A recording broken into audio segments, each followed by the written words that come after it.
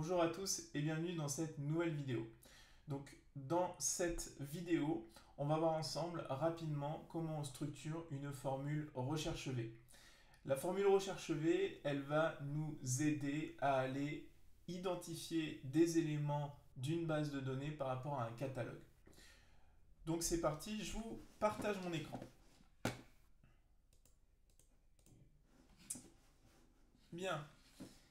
Alors ici dans cet exemple que je vous partagerai, je le mettrai dans, la description, j'ai d'un côté euh, des localisations, donc euh, des villes, et de l'autre j'ai des surfaces. Donc en fait j'ai une série d'appartements ou de maisons dans des euh, différentes villes, et ici j'ai les surfaces associées à ces différents appartements.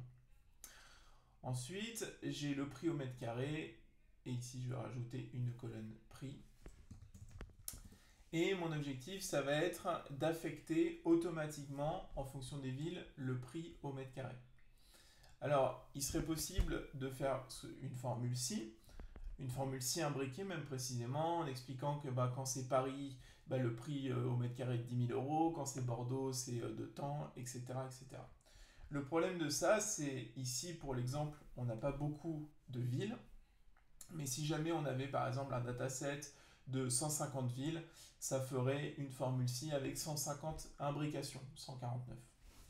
Euh, ça serait de toute façon pas possible puisque la formule ci ne peut réaliser au maximum que 65 imbrications. Et du coup, je vous renvoie à la documentation euh, d'Excel sur laquelle c'est précisé noir sur blanc. Donc à partir du moment où on va vouloir afficher des éléments dans une base de données en fonction d'un critère, il va falloir utiliser une autre formule. Cette formule, c'est la formule recherche V. Alors, pour ça, j'ai préparé mon dataset. Donc ici, j'ai mis un petit tableau dans lequel j'ai précisé les différentes villes, Paris, Bordeaux, Toulouse et Montpellier. Et j'ai précisé également le prix au mètre carré.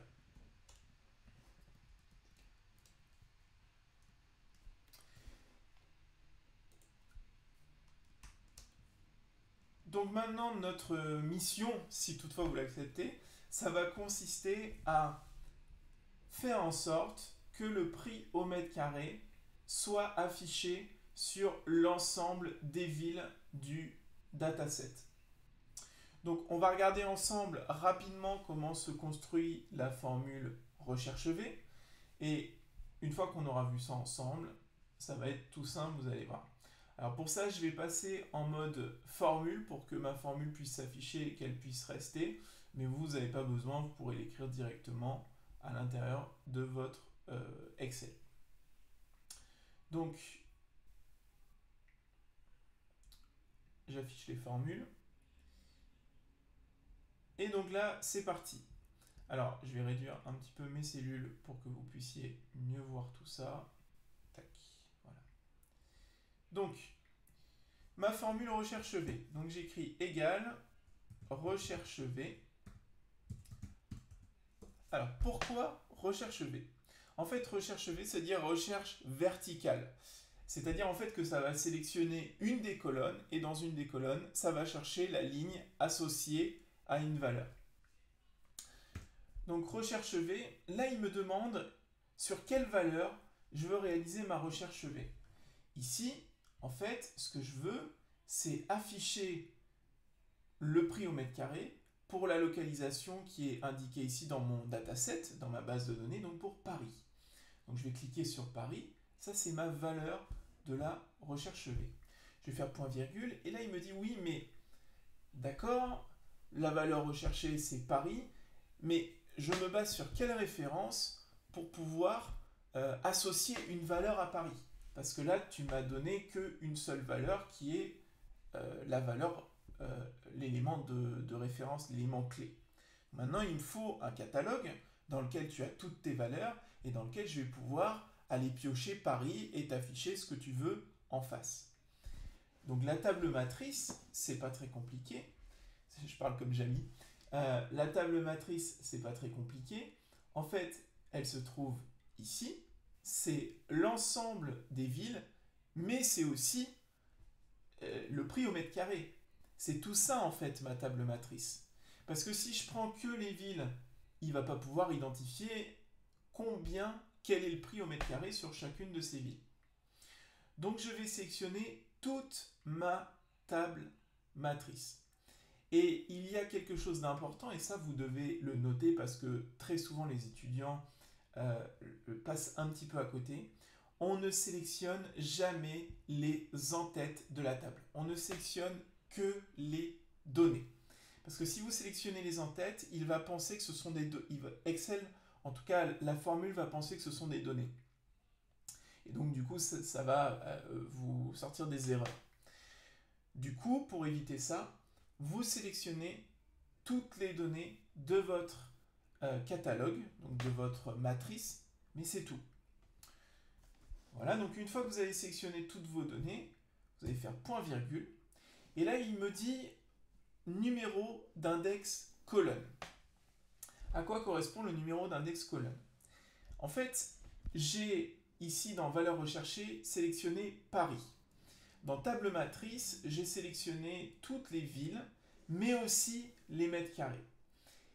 Il va pouvoir du coup facilement identifier par rapport à ma valeur recherchée à quoi correspond la valeur que j'ai sélectionnée. Donc là, j'ai sélectionné Paris de l'autre côté. Donc ici, il va identifier et il va prendre Paris. Jusque-là, pas de souci.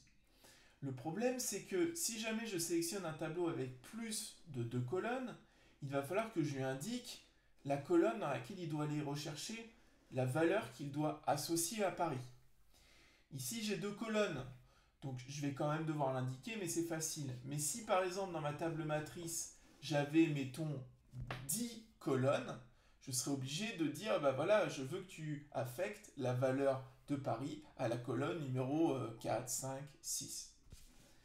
Ici, donc, dans numéro index colonne, j'ai juste qu'à écrire le numéro de colonne sur lequel je veux afficher la référence.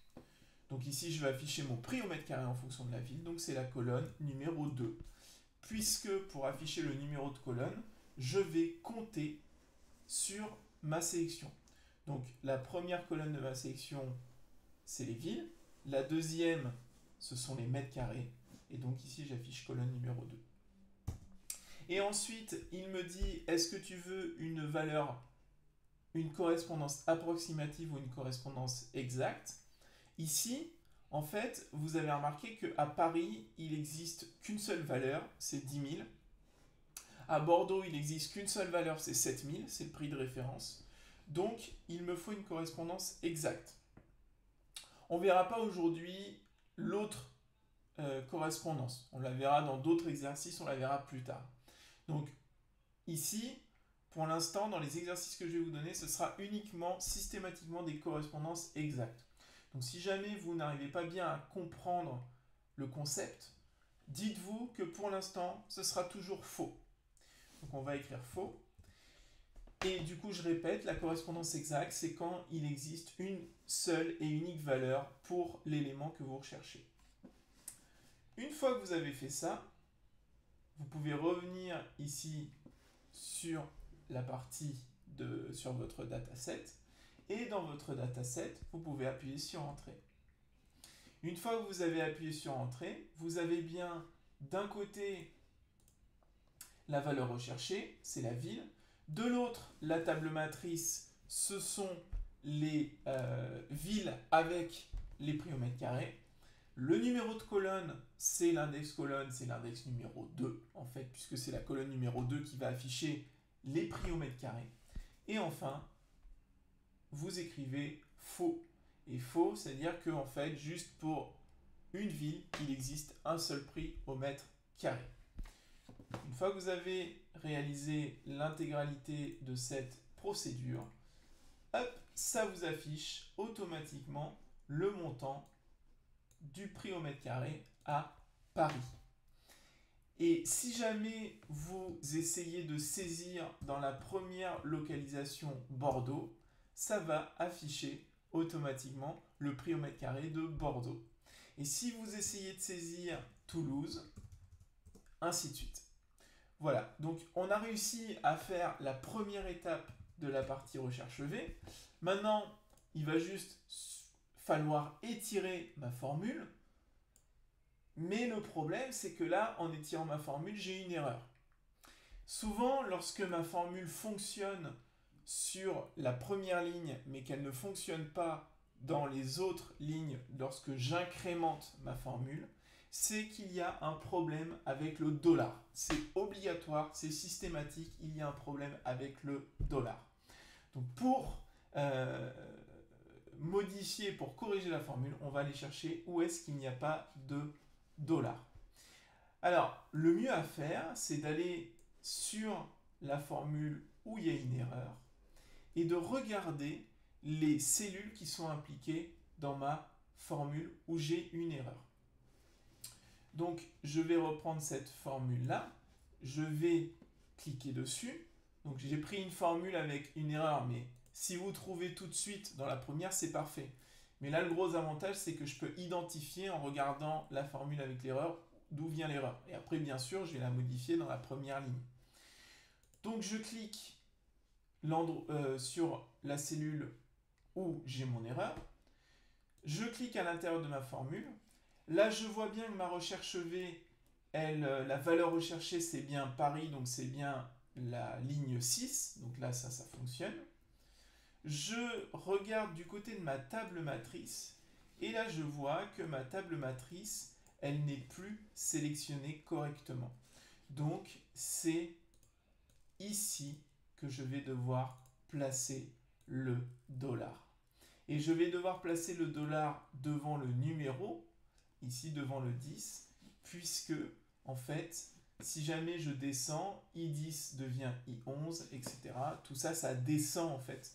Et du coup, comme ça descend, je ne peux pas, euh, je suis obligé de bloquer le numéro. Si vous ne comprenez pas bien comment fonctionne le dollar, je ferai une petite vidéo de 5 minutes pour expliquer. Ça ira plus vite que de tout réexpliquer dans cette vidéo. Donc ne vous inquiétez pas. Ce qu'il faut juste retenir, c'est que à partir du moment où on étire vers le bas, je place le dollar devant le numéro pour bloquer le numéro. Donc maintenant j'ai identifié le problème. Je reviens sur la première valeur, ici. Là, je clique à l'intérieur de ma formule. Et là, ma table matrice, elle est sélectionnée de I6 à J9. Et là, je vais placer mon dollar sur devant le 6 de I6 et devant le 9 de J9. Et j'ai plus rien à toucher, je fais entrer. Là, ma formule, elle est bonne cette fois-ci. Je n'ai plus qu'à étirer un petit peu pour voir si ça fonctionne. Ça fonctionne parfaitement. Je vais donc me mettre sur le petit carré ici vert.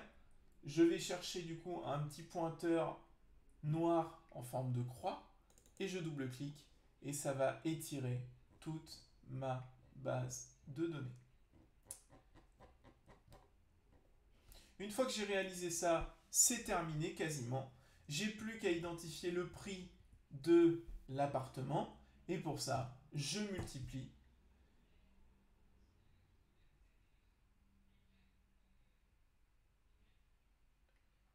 Et pour ça, je... Désolé, j'ai un peu bugué. Donc, identifier le prix de l'appartement. Et pour ça, je multiplie le prix au mètre carré par la surface. Voilà. Et à partir de là, j'ai le prix de l'appartement. Je me dis que 10 000 euros, euh, je trouvais que c'était pas très cher euh, à Paris. Je pense qu'on est plutôt de l'ordre de 15 000 euros. J'ai affecté les, les valeurs un petit peu au hasard comme ça. Euh, ensuite, vous double-cliquez et là, du coup, vous avez le prix de tous les appartements de votre, euh, de votre base de données. Voilà pour la formule recherche V. Je vais vous faire une autre vidéo avec un autre petit exemple qui va vous permettre, qui va nourrir euh, la base pour que vous puissiez réaliser l'étude de cas. Donc, si jamais euh, vous souhaitez suivre la deuxième vidéo, on se retrouve tout de suite dans la vidéo suivante.